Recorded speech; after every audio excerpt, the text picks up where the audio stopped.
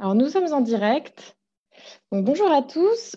Bienvenue sur ce nouveau euh, direct euh, sur la page Facebook de Benchy. Donc, je suis Manon Musset, responsable éditoriale de, la plateforme pour enfants Benchy. Euh, suite à notre festival animation à la maison, on s'est rendu compte que vous avez vraiment apprécié le format du direct et l'échange avec les réalisateurs. Donc, on a, on a décidé de vous proposer plus régulièrement des échanges comme, euh, comme ceci. Et aujourd'hui, on a la chance de recevoir Jacques-Rémy Girard. Donc, merci beaucoup, Jacques-Rémy, d'avoir accepté notre invitation. C'est avec plaisir. Donc, euh, nos, abonnés ont pu découvrir sur notre plateforme trois films que vous avez réalisés. Donc, L'enfant au grelot, La prophétie des grenouilles et Mia el Migou, donc qui sont devenus des, des classiques de l'animation. Donc, vous êtes réalisateur de films d'animation et vous avez été formé à l'école des beaux-arts à Lyon. Vous avez ensuite réalisé euh, plusieurs courts-métrages et fondé le studio d'animation Folle Image et ensuite l'école de la Poudrière. Euh, donc, peut-être avant de commencer, euh, les, questions, donc, je rappelle, vous pouvez poser toutes vos questions en commentaire du, du post euh, du live Facebook. Je les relayerai euh, avec plaisir à Jacques Rémy qui sera là pour répondre à toutes vos questions. Euh, donc peut-être avant de commencer de recevoir les premières questions, vous pouvez revenir sur votre parcours et justement comment vous en êtes venu à fonder le studio d'animation Folle Image qui est maintenant un studio qui a connu un, grand succès, dont les productions font le tour des festivals et, et avec qui nous on travaille beaucoup chez Benchy et peut-être nous parler aussi de l'école de la Poudrière rapidement.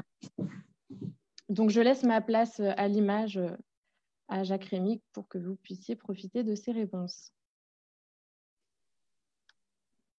Bonjour à tous.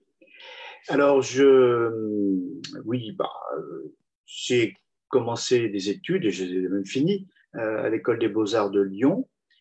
C'était des, études classiques de dessin et de sculpture, de peinture. Et c'était pendant, à cette école, pendant les cours de cette école, que j'ai eu l'occasion de réaliser des, des, petits films en, pâte à modeler animée. En réalité, comme pour apprendre le dessin, dans ces écoles, à cette époque-là, on reproduisait des sculptures, des antiques, euh, en dessin, mais aussi en volume animé, en, volume, euh, en, en, rond bosse, en sculpture. Et euh, j'avais eu l'idée d'installer une caméra et de faire bouger progressivement euh, toutes les phases de, de, de, de, la, comment, la, la, du modelage de, ces, ces sculptures. Donc, tous les quarts d'heure, je prenais une image et donc au bout de d'une semaine ou deux, après avoir fini cette sculpture, eh j'avais en 15 ou 20 secondes toute l'évolution euh, de la sculpture. Ça, ça m'avait frappé et j'avais essayé de développer euh, ce genre de film et c'est ce qui a déclenché en fait ma, profession d'animateur. À l'époque, euh, l'animation n'existait pas beaucoup en France, c'était très nouveau.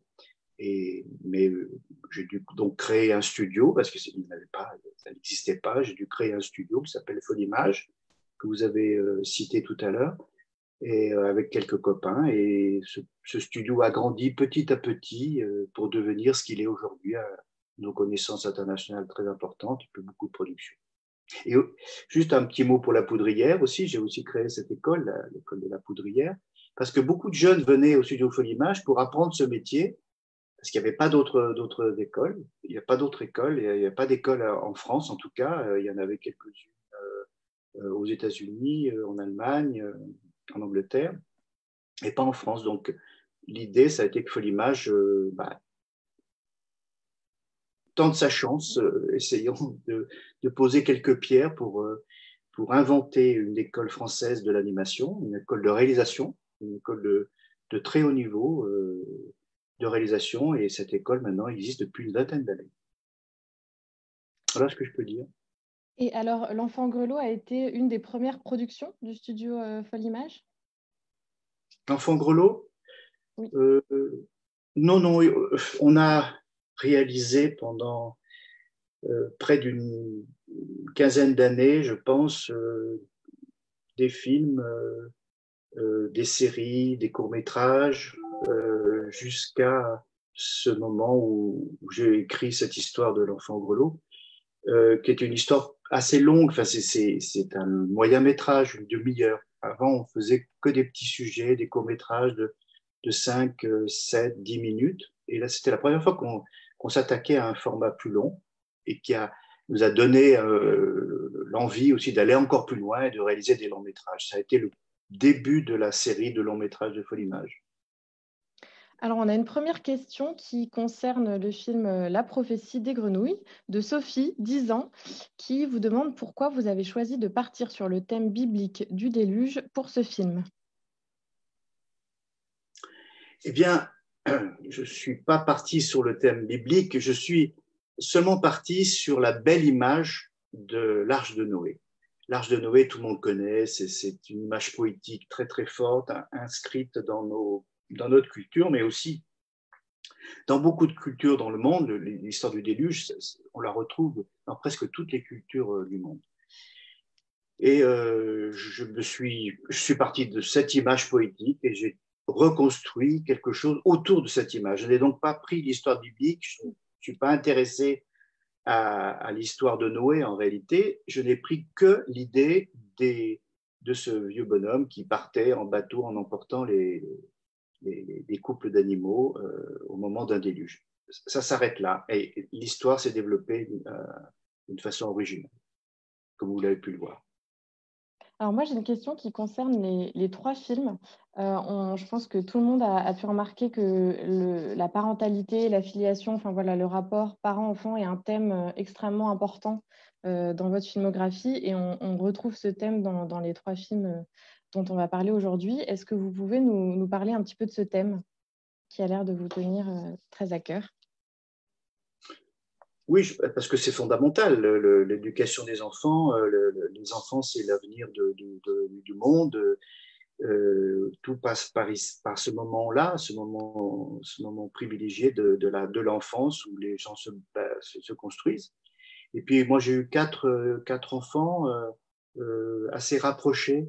Donc, mon envie de leur raconter des histoires a été le moteur de tout ça aussi j'avais envie de faire des films euh, que j'avais envie que mes enfants voient.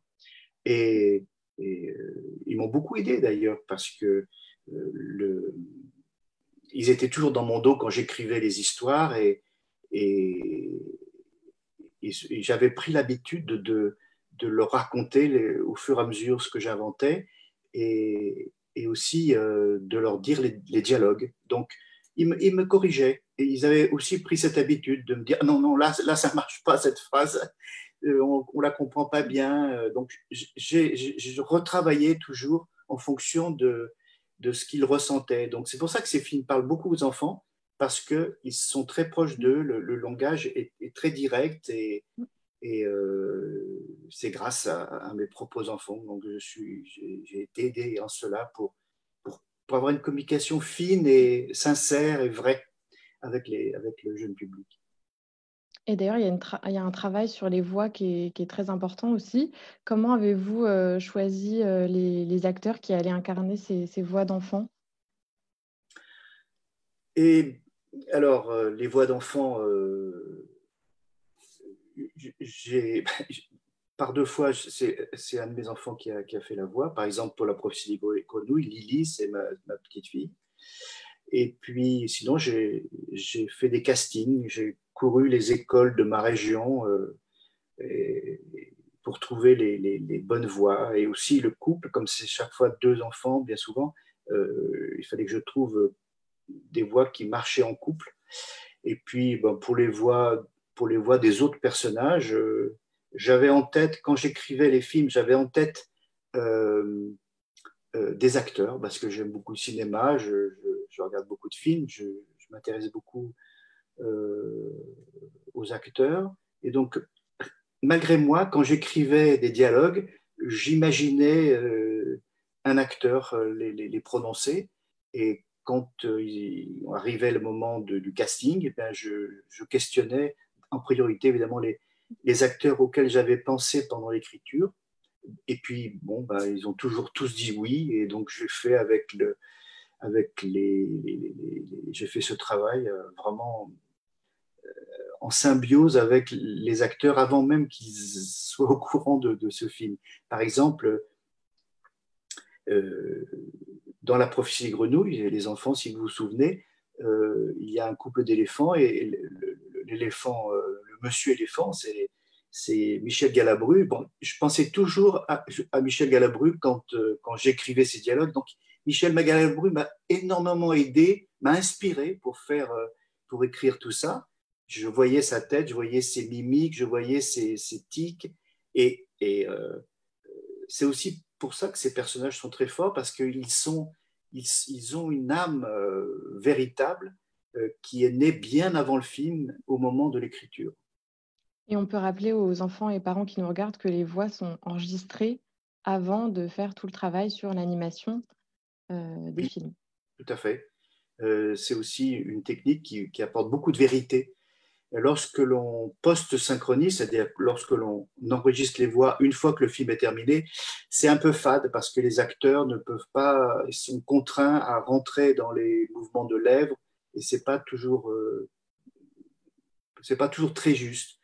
Là, moi, le film, il commençait par l'enregistrement des voix, de toutes les voix du, film. Donc, moi, je faisais la réplique. Pour ça qu'il y a beaucoup d'unités parce que c'était toujours, toujours, à la même personne et euh, ils étaient libres d'improviser parfois, de, développer leurs leur, leur phrases comme ils voulaient. Et donc, on obtient de cette façon-là une authenticité des dialogues euh, très forte. Et euh, je me suis tenu à ça, malgré le, fait que ce n'était pas forcément l'habitude de faire comme ça. Maintenant, beaucoup pratique de cette façon. Mais j'avais repéré que, que les animateurs, ceux qui font les dessins, qui les font bouger après dans le film, ils avaient une petite oreillette comme ça, ils écoutaient la vraie voix, et euh, c'est à partir de la vraie voix qu'ils faisaient bouger les personnages. Donc c'est pour ça que ces personnages sont très vrais. Parfois même, euh, des, spectateurs me disent, mais euh, à un moment donné, on a l'impression que c'est un vrai film, que c'est plus des dessins. Et je, le comprends très bien parce qu'il y a tellement une, belle symbiose entre l'acteur, la voix et le film qu'on peut oublier que, tout ça est de la fiction du, dessin. Alors, on a une remarque euh, de quelqu'un qui nous dit, vous travaillez beaucoup avec Benoît Chieux dans vos films. Euh, est-ce que vous pouvez euh, nous parler de cette, cette relation vous avez entretenu cette relation de travail avec euh, Benoît Chieux.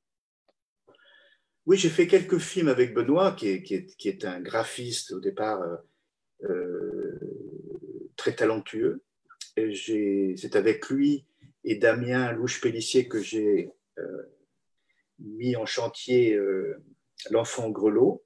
Et c'est avant L'Enfant Grelot, nous avions travaillé aussi sur une série pour la télévision qui s'appelait Ma petite planète chérie, ensemble euh, avec euh, Damien et Benoît. Et donc une amitié euh, et une envie de, travailler ensemble est, née et s'est poursuivie sur deux films. Puis après, il y a eu une interruption. Puis Benoît est revenu pour refaire deux autres films. Il n'a pas participé à la prophétie des grenouilles. Il est revenu et c'est avec lui que qu'on a mis au point euh, et réalisé euh, Mia El Migou et Tantilda, qui est mon dernier long métrage. Alors justement, on a une question sur Mia et le Migou. Euh, qui, concerne, qui concerne les Migou. les Migou et l'univers fantastique font un peu penser au, film Mon voisin Totoro. Est-ce que vous avez été un, peu inspiré de ce personnage pour, pour créer les Migou et l'univers du film? Pas précisément. C'est un film que j'aime beaucoup. Euh, pas précisément, non. Le, personnage du géant bien antérieur au film de Miyazaki, mm. évidemment. Euh, si je devais trouver une, source d'inspiration, c'est plutôt dans le personnage que Hergé avait euh, conçu pour Tintin au Tibet. Donc l'abominable homme des neiges, c'était ça, c'était c'était, ce personnage m'avait beaucoup impressionné quand j'étais petit. Et d'ailleurs, euh, le Yeti, donc ce, personnage de Yeti, euh, qui, euh, qui, dans le livre de Dergé, est appelé Migou, parce que les, en tibétain, le mot yeti, c'est Migou. Et je, depuis l'âge de 8 ans ou 7 ans, je ne sais plus, quand j'ai lu Tintin au Tibet, j'ai été très marqué par ce Migou et naturellement, euh, euh, ces, impressions de jeunesse, de toute petite jeunesse, euh, sont revenues, sont remontées et j'ai construit ce personnage aussi en, le développement à ma façon et en, y faisant entrer d'autres inspirations. Mais non, Voisin Totoro n'a pas, pas eu d'incidence précise dans la création de ce personnage. Alors, on a une question de Mohamed qui, euh, qui pose une question sur les musiques, musiques de vos films. Euh, vous collaborez avec Serge Besset. Comment expliquez-vous cette complicité? Alors, il faut dire, faut, faut dire qu'avant que je fasse, que, avant de faire les. Bon, petit souci de caméra. Pas, petit problème technique. Euh, ma caméra, mon, mon iPad est vraiment euh, en, équilibre instable. Voilà. Ça va on vous, voit, on, vous voit parfaitement. Bon, très bien. Euh, donc la question des musiques. Bon, avant de faire l'école des beaux-arts, j'ai fait des, études de médecine et euh, c'est au cours de ces études de médecine que j'ai rencontré Serge Besset euh, qui était un Lyonnais, et on, est devenus copains. Et lui, il avait très envie de faire de, la musique, moi j'avais très envie de faire du dessin, et bon, finalement, euh, on, a, on est allé là où nous portaient nos désirs. Et puis, euh, bah, il a fait la musique de mon premier court métrage, du deuxième, du troisième. Il et en réalité, il a fait la musique de tous mes films. Et on était tellement copains que qu'on n'avait presque pas à se parler, on, se comprend à demi-mot, et il, il, fait exactement ce que j'ai envie qu'il fasse, et, moi, je, le suis euh, les yeux fermés. Donc voilà, c'est une... Ça arrive pas tellement souvent parce que ça fait plus de 30 ans, presque 40 ans que nous travaillons ensemble, et euh, les choses se sont toujours bien passées. Euh, au mieux, c'est formidable. Et ce qui était très important, que je, souligne, c'est que dès les premières pages d'écriture d'un scénario, je les transmettais à Serge Besset, qui les, les lisait, qui me faisait ses remarques, mais aussi qui commençait à créer des, thèmes musicaux à partir de, ces textes. Et donc, les principaux thèmes euh, musicaux des films étaient mis en place euh, pratiquement avant que nous commencions à réaliser le film la, plupart du, temps, euh, quand le film est terminé, on le donne au musicien et le musicien mm. crée sa musique sur le film. Là, c'est quelque chose qui se faisait en, même temps, pendant des années, parce que euh, la prophétie des grenouilles, c'est six ans de travail. Donc, il a travaillé pendant les six années, progressivement, en même temps que l'équipe, l'image s'inspirant de la musique, la musique s'inspirant de l'image. Donc, c'était un vrai travail euh, d'inspiration de chaque côté. C'est vrai qu'on on entend rarement euh, l'importance de la ah, musique dès le début de, à ce stade du projet. Pas du tout classique, mm. cette façon de travailler. Il faut le faire vraiment avec quelqu'un qui, euh, quelqu'un dont on est très proche. Et j'ai eu la chance, comme ça, de rencontrer ce garçon qui, qui a beaucoup de talent et qui, et qui m'a aussi, à sa façon, inspiré. Alors moi, j'aimerais bien qu'on revienne aussi sur euh, l'enfant au grelot. Euh, j'avais une question sur l'enfant au grelot à propos du personnage du grand Jacques. Euh, est-ce qu'il est directement inspiré du personnage de, Monsieur Hulot?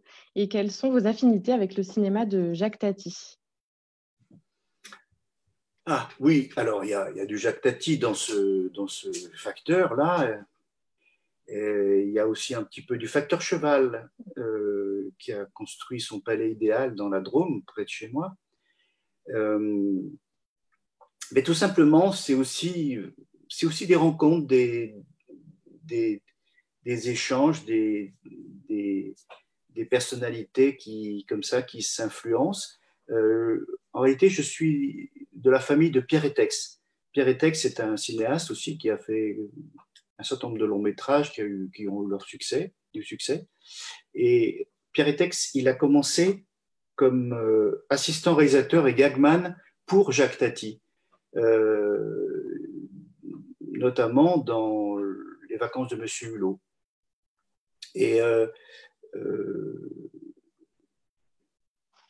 Pierre Etex m'a beaucoup parlé de, Jacques Tati et j'ai été, été initié très jeune à ce, personnage incroyable qui a créé une, filmographie totalement décalée et formidable. Et grâce à Pierre Etex, grâce à cette amitié, cette relation particulière, j'ai découvert l'univers de Tati que j'ai un petit peu euh, réenchanté, réinventé à ma façon avec ce personnage. Et alors, comment est né le, projet de l'enfant grelot? Est-ce que c'était une idée que vous aviez depuis longtemps euh, de travailler sur un conte, euh, un conte de Noël? Oui, j'avais envie. Je reviens un petit peu sur mes enfants, mais mes enfants étaient très jeunes à cette époque. Et donc, je me déguisais en Père Noël. Euh, des fois, ça leur faisait peur. La première fois, je, m'étais mal prise. ça avait été une catastrophe. Puis après, ça, s'était arrangé. Et je me déguisais en Père Noël et j'étais le Père Noël. Et pendant toute une période, les, enfants ont on mélangeait euh, le papa et le Père Noël. Et euh, bon, cette histoire de Père Noël me plaisait, euh, ça m'a inspiré comme enfin oui, parce que au fond, tous les enfants, à l'époque, il, n'y avait des films d'animation que dans la, à la période de Noël. Quand j'étais jeune, moi, il n'y avait que le Disney de Noël. Donc Noël était aussi attaché à l'idée de, de, de, de dessins animés. Donc bon, on ne sait jamais comment euh, les idées viennent, mais là, ben oui, ce, passé de, moi-même de, jouer ce rôle de Père Noël et euh, ce moment particulier qui, euh, est, extraordinaire pour les, petits-enfants m'ont amené à me dire, bah oui, tiens, si j'essayais d'écrire quelque chose autour du Père Noël, et c'est ce qui a déclenché ce, scénario. Qui, une idée, c'est presque rien, mais, mais c'est un, point d'ancrage autour duquel on peut écrire, développer et, raconter une histoire. Mais même si euh, au premier abord, on peut avoir l'impression qu'il s'agit d'un conte de Noël classique, en fait, il est tout à fait original, notamment dans, dans, dans le travail sur le, le, personnage du Père Noël qui est, très, qui est rendu très humain, en fait, dans le, dans le, dans le film. Mais oui, oui, c'est pas un, personnage de légende, c'est un, un vrai personnage. Mais comme tout, même les animaux que je fais jouer dans mes films sont des, des, personnages très, très humains, très, très proches. Parce que c'est ça qui m'intéresse, c'est de, communiquer de la façon la plus fine avec le spectateur à partir de personnages le plus, le plus vrai possible, le plus, le plus tangible, le, comment. Euh, ce sont, je sais pas comment vous dire, par exemple, les, les films de Pixar sont, sont magnifiques, mais c'est un peu des, souvent des, des, beaux feux d'artifice. Quand ça s'éteint, on, bon, on a passé un très bon moment, spectaculaire, mais il n'y a pas toujours cette accroche avec les personnages. Là, moi, j'ai cherché autre chose.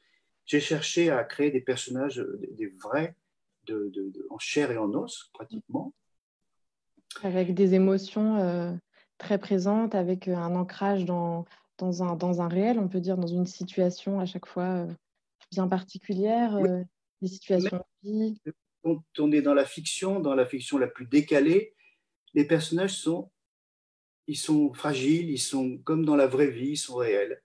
Et pas toujours réussi, mais quand même, il y a quelques personnages que j'ai créés qui, sont, qui marchent comme ça sur ce plan-là on a une nouvelle question qui porte sur l'enfant grelot. Euh, quelqu'un nous dit il y a beaucoup de références dans le film, comme la chambre du grand Jacques qui ressemble à celle de la chambre de Van Gogh à Arles de Van Gogh. Est-ce que vous vous êtes souvent inspiré par des, est-ce que vous êtes souvent inspiré de peintures euh, et de peintres pour la création de vos univers? Alors avec, on revient à Benoît Chieux. Euh, Benoît euh, comme moi, et une bonne partie de l'équipe qui travaille sur ces films, on est plusieurs dizaines, voire presque 200 personnes qui travaillent sur ces films. La, plupart des graphistes sont, des graphistes qui ne sont, qui sont pas extrêmement engagés dans, les images de synthèse, mais plutôt dans le graphisme artisanal, les couleurs à la main, le pinceau, les pastels. Et euh, Benoît, lui, euh, comme beaucoup d'autres que je disais, notre source d'inspiration graphique venait pas, de, ben, pas des mangas, pas des cartoons américains, mais de notre culture euh, française ou européenne. Et là, cette citation de Van Gogh, elle est, claire.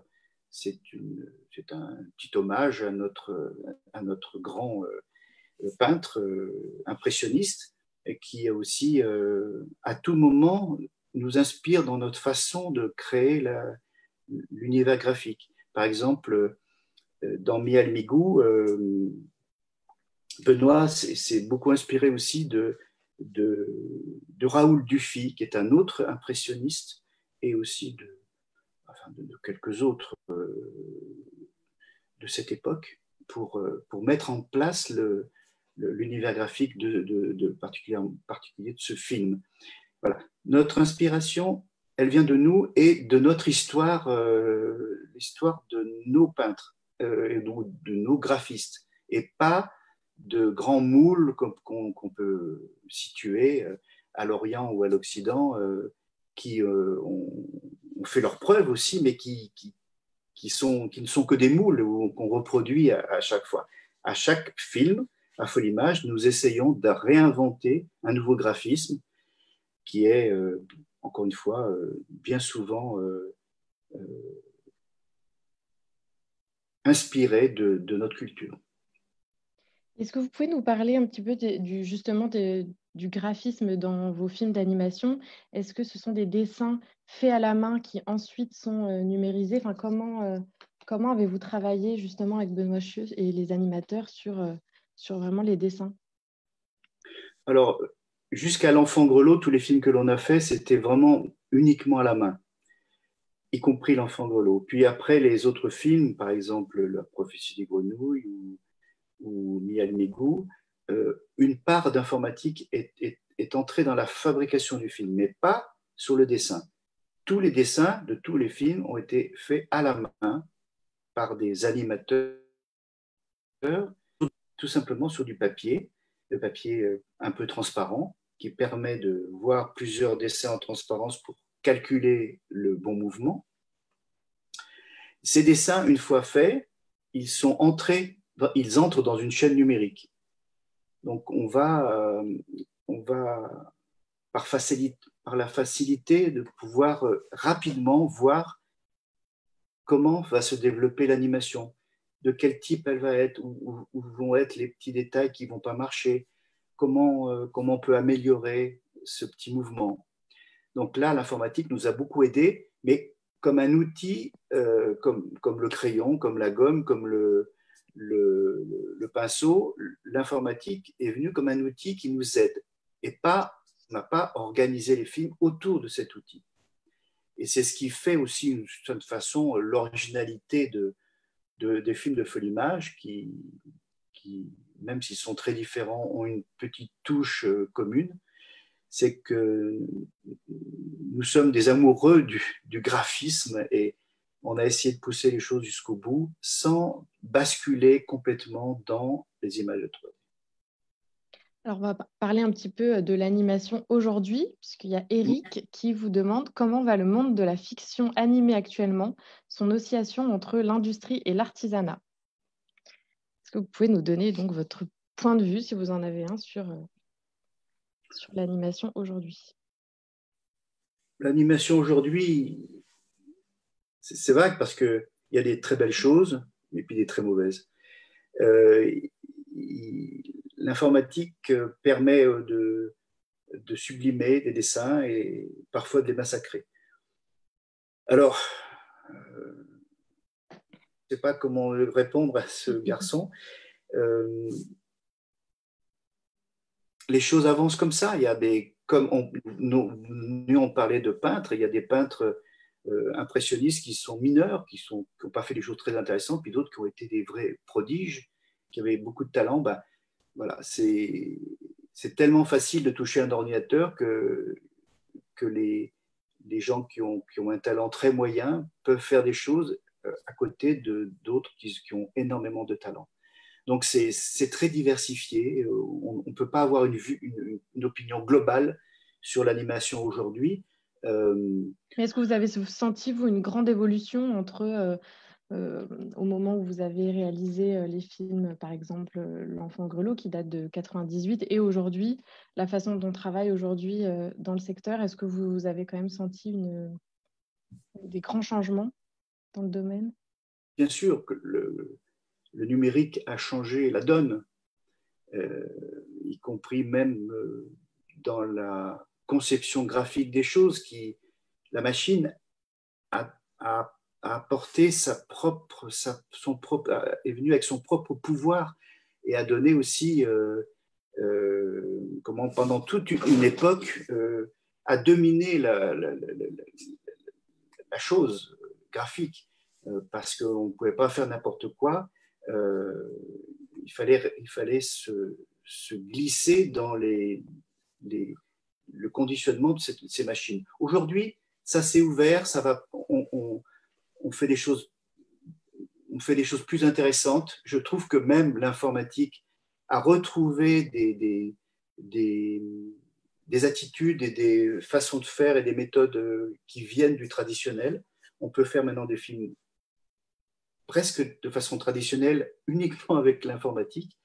Donc tout, ça est lié, euh, l'un et l'autre on, sont arrivés à se ressouder et euh, tout dépend les, auteurs, mais euh, tous ces outils, euh, tout dépend comment on les utilise, mais on est capable aujourd'hui de, faire des choses magnifiques avec l'informatique, comme on continue à faire des choses magnifiques avec le crayon et le pinceau. Nous avons une question de Sarah qui se demande combien de temps euh, combien de temps il faut pour faire un film euh, d'animation artisanale fait à la main du début à la fin Est-ce que vous pouvez nous donner une indication? Bah, Ça dépend, euh, ça dépend de la complexité du film, évidemment. Pour vous donner un exemple, chaque long métrage que j'ai réalisé m'a demandé entre 6 et 7, 7 années de travail, du moment de l'écriture jusqu'à la sortie du film. Euh, il y a des films qui se font presque en une journée, d'autres qui faut sept ans. Euh, mais évidemment, on ne fait pas un long métrage en une journée, mais on peut faire un tout petit film, un tout petit, tout petit film de quelques secondes. Euh, certaines personnes, certains réalisateurs ou réalisatrices de courts métrages mettent plusieurs années pour faire un court métrage de 5 ou 6 minutes, et puis d'autres vont plus vite gardons en tête qu'au studio Folimage, on, faisait guère plus d'une seconde par jour. c'est beaucoup de dessins, beaucoup de, phases animées pour chaque seconde, parfois plusieurs centaines de dessins quand il y a plusieurs personnages, que les, les, situations sont complexes. Et euh, une seconde, on, avait de la peine à dépasser une seconde par jour. C'est un chiffre impressionnant. Oui. C'est-à-dire, au bout de 10 jours, on n'avait que 10 secondes de film. C'est, quand, on voit, par exemple, que, des documentaires se tournent dans une, en une journée, c'est tourné, monté, diffusé, euh, on est totalement dans un autre monde. Nous avons une nouvelle question de Tom qui se demande si vous avez un personnage préféré dans vos films ou un personnage auquel vous vous identifiez particulièrement.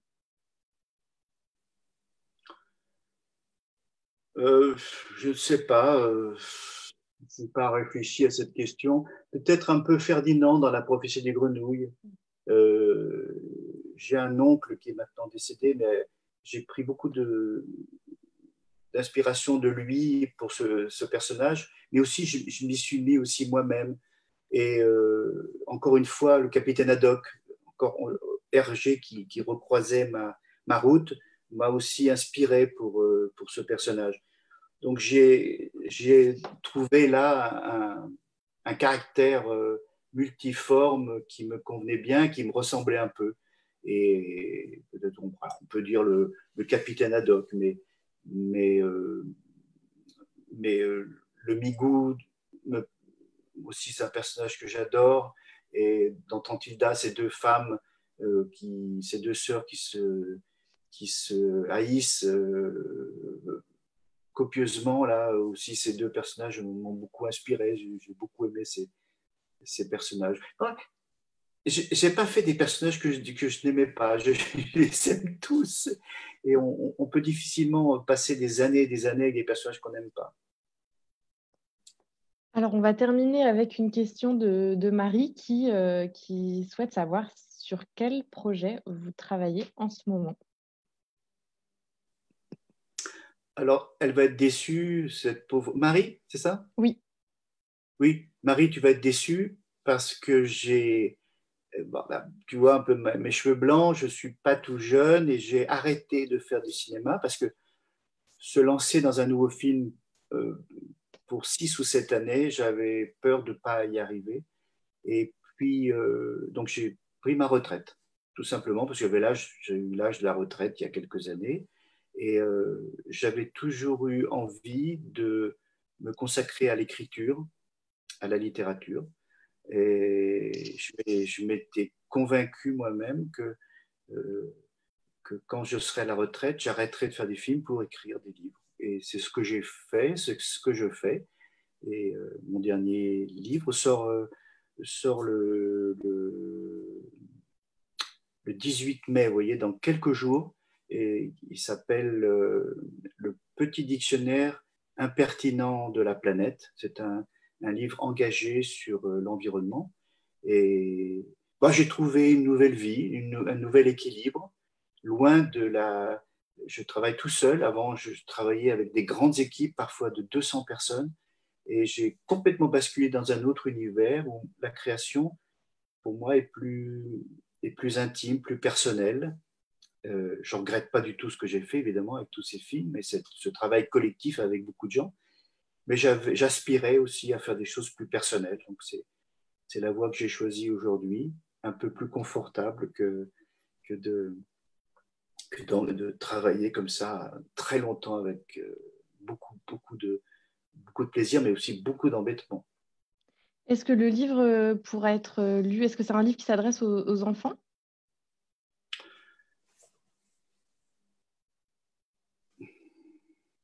C'est un dictionnaire euh, euh, euh, amusant. C'est une façon de, voir l'environnement, pas sous, la, note dramatique, comme bien souvent on, le fait, avec une écologie qui, est austère.